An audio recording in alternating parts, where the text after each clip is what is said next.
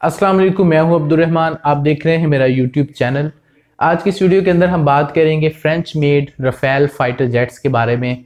हम इस वीडियो के अंदर रफ़ेल फाइटर जेट्स को इसलिए डिस्कस करेंगे क्योंकि हमारा हमसाय मुल्क भारत ने रफ़ेल फाइटर जेट्स को ख़रीदा है और रफ़ेल फाइटर जेट्स को अब वो एक फ्रंट लाइनर एयरक्राफ्ट के तौर पर यूज़ करेंगे। तो हम इस वीडियो के अंदर देखने की कोशिश करेंगे कि रफ़ेल के अंदर ऐसी कौन सी खासियत है जिस वजह से भारत ने बहुत सारे ऑप्शंस को बाईपास करते हुए रफ़ेल को ख़रीदा है। क्या वजह है कि भारत के पास सू थर्टी और बहुत सारे और भी एयरक्राफ्ट होने के बावजूद भारत को लगा कि उनका जो दिफा है वो इतना ज़्यादा मज़बूत नहीं है तो हमें एक नई टेक्नोलॉजी की तरफ़ जाना चाहिए। और भारत एक ही वक्त में अपने दो हरीफों और दो हमसायों यानी कि पाकिस्तान और चाइना के साथ उनके जो मामला हैं, वो बिगड़ते जा रहे हैं। तो इस हवाले से भारत जो है एक बहुत ही हार्ड लाइन लेने वाला है। इस वीडियो के पहले हिस्से में हम रफेल फाइटर जेट्स की स्पेसिफिकेशंस आपके साथ शेयर करेंगे। आपको ये बताने की कोशिश करेंगे कि रफेल फाइटर जेट्स कितना अमेजिंग एक एयरक्राफ्ट है। और वीडियो के दूसरे हिस्से में हम आपके साथ बहुत ही तफसील के साथ बात करेंगे कि भारत को रफेल फाइटर जेट्स क्यों चाहिए थे और अब भारत को जब ये मिल चुके हैं तो अब भारत इनको किस तरह से यूज़ कर सकता है? रफेल की स्पेसिफिकेशन देखने से पहले हम आपके सामने रफेल का एक छोटा सा इंट्रो रखते हैं। रफेल एक 4.5 जनरेशन का double engine canard delta wing multi role fighter aircraft है इसको एक फ्रेंच कंपनी डिजॉल्ट एविएशन ने इसको मैन्युफैक्चर किया है। ये साइज़ में जे एफ़ सेवनटीन थंडर और एफ़ सिक्सटीन से काफ़ी ज़्यादा बड़ा है, क्योंकि ये एक डबल इंजन एयरक्राफ्ट है। हिंदुस्तान ने रफेल के साथ 36 त्यारों की डील की है, जिसमें से पाँच जो पहले त्यारे थे, वो 29 जुलाई 2020 को भारत को मिले, जबकि 4 नवंबर को भारत ने दूसरे बैच में मजीद तीन रफेल हासिल कर लिए हैं और अब भारत के पास टोटल आठ रफेल हो चुके हैं। 1970 की दिहाई में फ्रेंच एयरफोर्स और फ्रेंच नेवी अपनी जो करंट फ्लीट थी उसको रिटायर करना चाहती थी। इसी वजह से फ्रांस ने जर्मनी, स्पेन यूके और इटली वगैरह के साथ नए फाइटर जेट के लिए बातचीत का आगाज़ किया। लेकिन ये जो बातचीत थी, ये आगे नहीं बढ़ सकी और कोई डील नहीं हो सकी, जिसके बाद फ्रांस ने अपना एक खुद का एयरक्राफ्ट बनाने का फैसला किया और जिसके नतीजे में रफेल आज आपके सामने है। 2020 में तकरीबन चार से पाँच ऐसे ममालिक हैं जो कि रफेल को इस्तेमाल कर रहे हैं। जिनमें फ्रांस के अलावा भारत, इजिप्ट और कतर शामिल है। 2019 तक डिफरेंट वेरिएंट्स के 201 रफेल फाइटर जेट्स मैन्युफैक्चर किए जा चुके हैं। एक रफेल की जो प्राइस है वो 110 मिलियन यूएस डॉलर्स है, जबकि जो इसका एक्सपोर्ट वर्जन है फुल वेपन्स के साथ उसकी जो प्राइस है, वो 300 मिलियन यूएस डॉलर्स हैं। रफेल के बहुत सारे वेरिएंट्स हैं। अगर हम इन वेरिएंट्स की बात करें तो इनमें Rafale A Rafale M F three R Rafale C F three R Rafale B F three R Rafale D Rafale N Rafale D M Rafale E M Rafale D H और Rafale E H शामिल है। Rafale D H और E H Rafale के वो वाले variants हैं जो कि इंडिया के पास हैं। रफेल डी एच एक डबल सीटर एयरक्राफ्ट है, जबकि रफेल एच एक सिंगल सीटर एयरक्राफ्ट है। अब हम बात करते हैं रफेल फाइटर जेट्स की स्पेसिफिकेशंस के बारे में। तो सबसे पहले हम रफेल के डिज़ाइन की बात कर लेते हैं। रफेल की अगर हम लेंथ की बात करें तो इसकी जो लेंथ है वो 50 फीट है। इसकी हाइट की बात करें तो ये 17.5 फीट है। और अगर हम इसकी वेट की बात करें तो ये 35.9 फीट है। अगर हम रफेल की एम वेट की बात करें तो एम वेट का मतलब ये होता है कि उस वक्त जब एक एयरक्राफ्ट ग्राउंडेड होता है किसी तरह का कोई मिजल पेलोड वगैरह नहीं होता, उसका जो खुद का अपना वेट है वो कितना होता है? तो रफेल का जो एम वेट है, वो टेन थाउज़ेंड के से ज़्यादा है।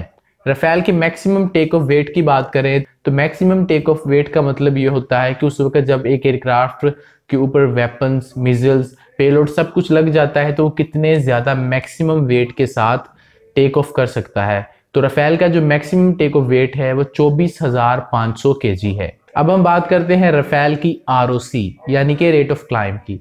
आरओसी का मतलब ये होता है कि ऊंचाई पर जाने की जो एक एयरक्राफ्ट की स्पीड होती है, यानी कि वर्टिकल स्पीड उसको हम आरओसी बोलते हैं। तो रफेल की जो आरओसी है वो 300 मीटर पर सेकंड है यानी कि तकरीबन 59,000 फीट पर मिनट रफेल की आरओसी है। अगर रफेल की हम मैक्सिमम स्पीड को देखें तो रफेल की जो स्पीड है वो आवाज़ की रफ्तार से दो गुना ज़्यादा तेज़ है।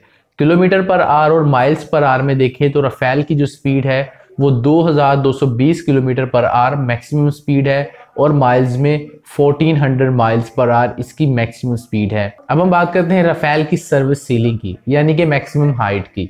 तो सर्विस सीलिंग का मतलब ये होता है कि एक एयरक्राफ्ट मैक्सिमम कितनी हाइट तक फ्लाई कर सकता है जा सकता है। तो रफेल की जो सर्विस सीलिंग या मैक्सिमम हाइट है वो 50,000 फीट है। अब हम बात करते हैं रफेल की फेरी रेंज की। तो फेरी रेंज वो मैक्सिमम रेंज है जहाँ तक एक एयरक्राफ्ट जा सकता है यानी कि टेक ऑफ़ से लेकर लैंडिंग तक वो कितना डिस्टेंस तय कर सकता है? तो रफेल की जो मैक्सिमम फेरी रेंज है, वो 3700 किलोमीटर है। अगर हम मैक्सिमम पेलोड कैपेसिटी की बात करें तो रफेल की जो मैक्सिमम पेलोड कैपेसिटी है, वो नौ हज़ार बहत्तर के है। अगर हम हार्ड पॉइंट्स की बात करें तो हार्ड पॉइंट का मतलब ये होता है कि एक एयरक्राफ्ट कितने ज़्यादा वेपन्स को या मिजल्स को कैरी कर सकता है। यानी कि जितने ज़्यादा हार्ड पॉइंट्स होंगे, उतने ज़्यादा वेपन्स को वो एयरक्राफ्ट कैरी कर सकता है। तो रफेल के अंदर 14 हार्ड पॉइंट्स है, यानी कि रफेल जो है, वो 14 मैक्सिमम मिजल्स को अपने साथ कैरी कर सकता है। अब हम बात करते हैं फ्यूल टैंक कैपेसिटी की।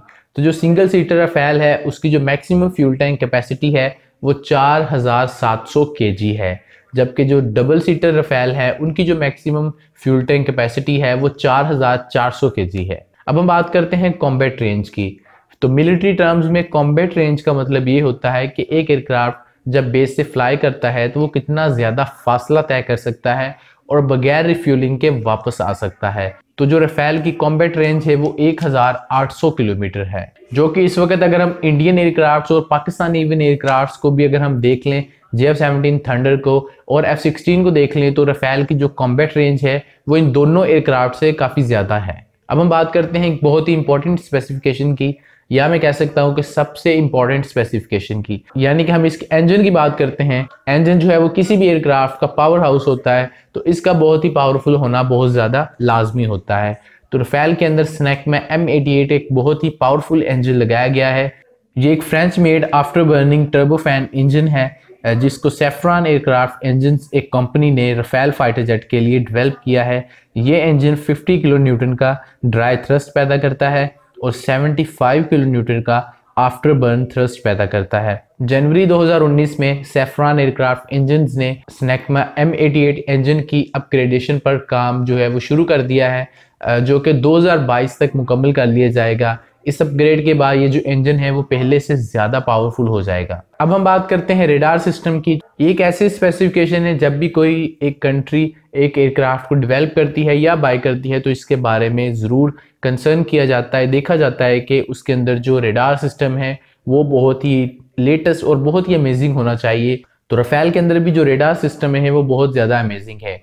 रफेल के अंदर Thales R B E two A A S A radar system लगाया गया है, जो कि एक टाइम में 40 टारगेट्स को डिटेक्ट कर सकता है और इसकी जो रेंज है वो 138 किलोमीटर है, यानी कि तकरीबन 75 नॉटिकल माइल्स इसकी मैक्सिमम रेंज है।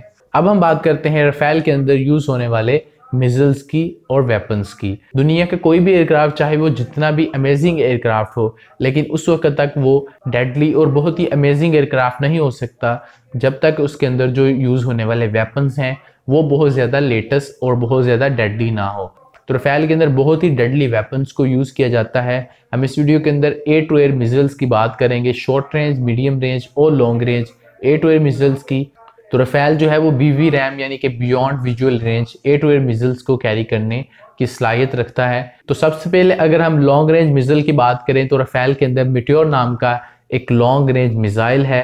ये एक लॉन्ग रेंज बीवी रैम यानी कि beyond visual range air to air missile है।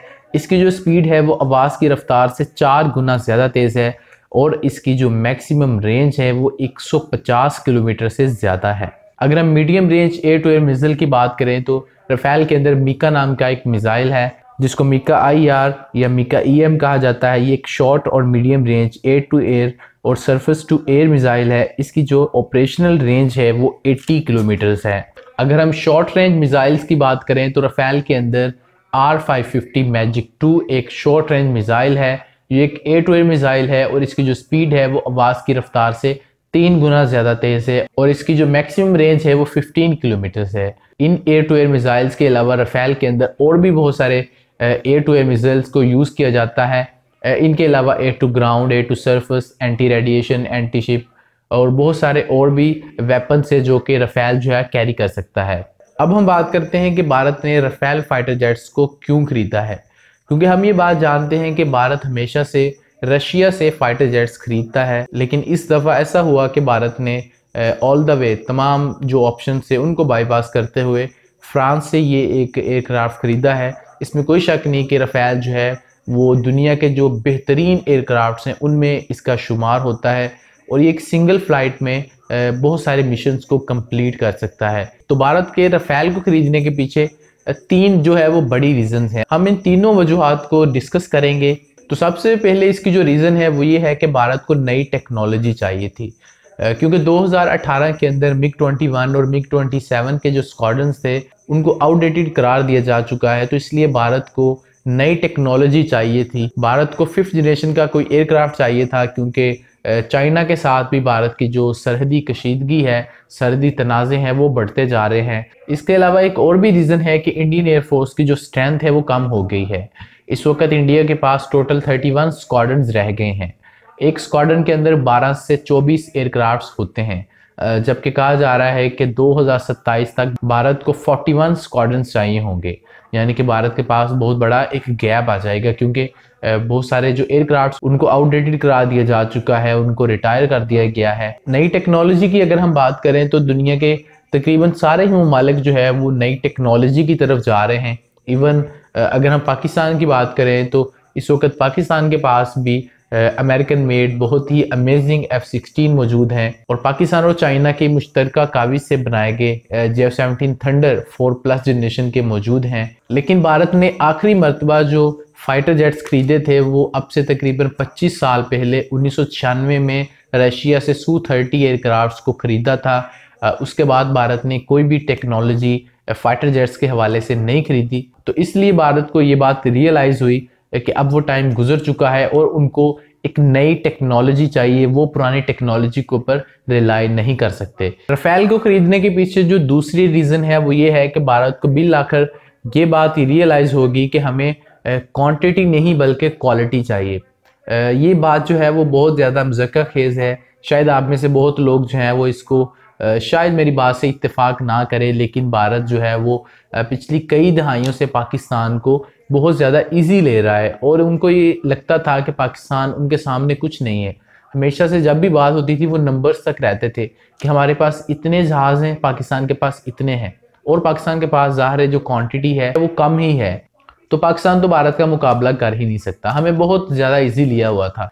तो 26 फरवरी 2019 को भारत ने बालाकोट एयर स्ट्राइक का वो जो सारा एक ड्रामा था, वो कर दिया और उनका ख्याल था कि पाकिस्तान जो है, वो इसके मुतल कुछ नहीं करेगा।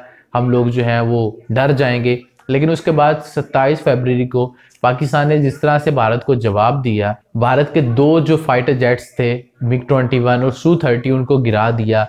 हमने भारत का पायलट पकड़ा, हमने उसका कन्फेशन जारी किया, हमने उनका जो मिग 21 है, उसकी फुटेज जारी की, कहाँ पे गिरा था। सू थर्टी जो कि इंडियन ऑक्युपाइड कश्मीर में गिरा था, वो भी पूरी दुनिया ने देखा। उस वक्त मोदी सरकार को ये बात रियलाइज़ हो गई कि हम क्वांटिटी के ऊपर इहिसार नहीं कर सकते। हमारे पास क्वांटिटी तो बहुत ज़्यादा है, लेकिन उसमें इतनी भी क्वालिटी नहीं कि हम पाकिस्तान का मुकाबला कर सकें। लेकिन हम तो ये बातें कर रहे हैं कि चाइना के साथ हम मुकाबला करेंगे। तो उस वक्त भारत ने मोदी सरकार ने इंडिया के लोगों को एक लॉलीपॉप तो दे दिया क्योंकि उन्होंने बेजती से बचना था और ये कह दिया कि हमने पाकिस्तान का एफ़ सिक्सटीन गिराया था। लेकिन सबसे ज़्यादा अफसोस मुझे इंडियंस के ऊपर हुआ, जिन्होंने एक मरतबा मोदी सरकार से ये पूछने की जहमत नहीं की कि किधर है वो फाइटर जेट जो कि हमने पाकिस्तान के एफ़ सिक्सटीन गिराया है, कहाँ है उनका पायलट किस तरह से उन्होंने हमें सबूत दिए, हम क्यों नहीं देते? पाकिस्तान ने अभिनंदन का पकड़ा, उसका सबूत दिया, हमने फुटेज जारी की कन्फेशन जारी किया, लेकिन जब भारत ने गिराया है पाकिस्तान के एफ़ सिक्सटीन तो उसका कोई सबूत भी तो होना चाहिए। तो वो इंडियंस जो कि इस वीडियो को देख रहे हैं, मैं आप लोगों को ये बताना चाहता हूँ कि कि एफ़ सिक्सटीन सिर्फ़ आपके चैनल्स पर गिरा है भारतीय मीडिया पर गिरा है, पाकिस्तान में कोई एफ़ सिक्सटीन नहीं गिरा। रफेल को खरीदने के पीछे तीसरी रीज़न भारत की ये थी कि भारत जो है, उसका जैसा कि हमने पहले कहा कि चीन के साथ उनके जो सरहदी तनाज़े हैं, वो शिद्दत इख्तियार कर रहे हैं। 2020 में भारत और चीन के दरमियान ये जो कशीदगी है, ये हर आने वाले दिन के साथ बड़ी है, कम नहीं हुई। अगर आपने इस स्टोरी को फॉलो किया हो तो गलवान वैली में जो कुछ हुआ, चाइना ने भारत के साथ जो कुछ वहाँ पे किया। आए दिन ये खबरें आती थी कि चाइना ने भारत के इतने किलोमीटर के ऊपर कब्जा कर लिया है, और ये खुद इंडियन मीडिया इसको दिखाता था। इसके बाद इंडियन गवर्नमेंट की तरफ़ से इसके ऊपर कोई डिनाई नहीं आता था। वो भारतीय सरकार के लोग जो कि आए रोज ये बयान देते थे कि पाकिस्तान को घुस के मारेंगे। तो चाइना के खिलाफ जो वो घुस के मार रहे हैं चाइना वाले आपको तो भारत में एक मरतबा भी किसी ने उनके खिलाफ बात नहीं की। तो भारत मिग ट्वेंटी वन से चाइना के फिफ्थ जनरेशन जे ट्वेंटी का मुकाबला तो नहीं कर सकता, इसलिए भारत को नई टेक्नोलॉजी चाहिए थी। तो रफेल को खरीदने के पीछे जो भी रीजंस थी, अब ये देखना होगा कि वो रीजंस पूरी होती हैं कि नहीं। तो मुझे मेरे आपको आज की हमारी ये काविश पसंद आई होगी। आप हमें कमेंट सेक्शन में अपना फीडबैक दे सकते हैं। आप हमें बता सकते हैं कि आपके इस बारे में क्या ख्याल हैं।